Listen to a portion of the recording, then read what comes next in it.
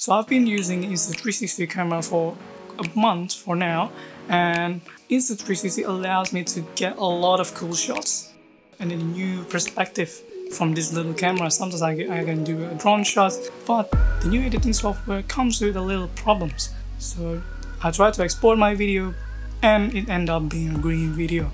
So I'll show you the solution to this. So hop onto Insta360 2019 software in your computer. So first thing open settings, go to preference, and then you see these four options.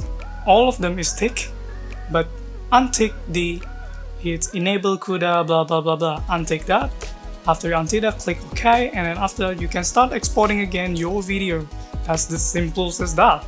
Now you can edit your videos again with the new updated software with the color plus and also remove grain and a better audio quality.